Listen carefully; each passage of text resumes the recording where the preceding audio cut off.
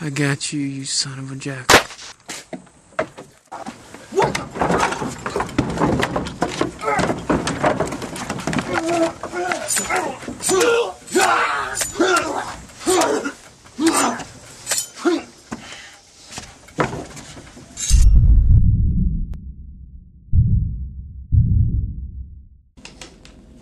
So Tank, how many missions have you been on?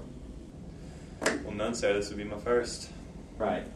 And the reason you're going on this mission is because you're our best pilot. I don't want you to do anything stupid. Listen to Smith. Do exactly what he says, okay? Yes, sir. Okay, what character did you play? I played Tank. And What was Tank? What was his? What was he like? He was uh he's new, like, you know, it was his first mission I guess and you know, he's kinda young and just kinda getting broken, in, I guess, to all the missions and stuff. So he was just kinda learning. Okay.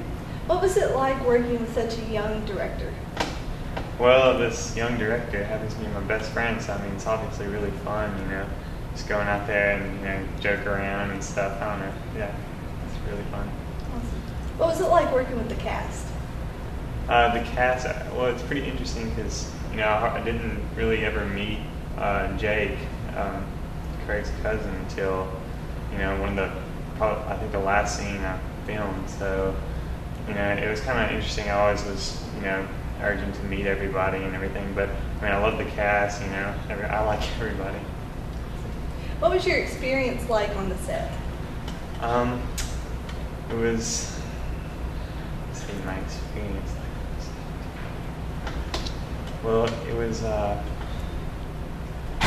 I sometimes I, didn't want to like mess up or anything, so I was kind of nervous. But most of the time, I was just kind of, you know, I couldn't really keep a straight face or anything. I would always laugh all the time. But uh, I don't know, it's just really new for me. I guess I've never done anything like this, so it's just fun and you know, if you mess up, just retake. I guess.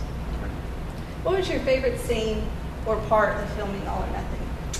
My favorite scene was uh, the airplane scene when we're about to take off to the jungle. It was that was really neat being inside the plane there, and especially being a pilot. That'd be cool. Awesome.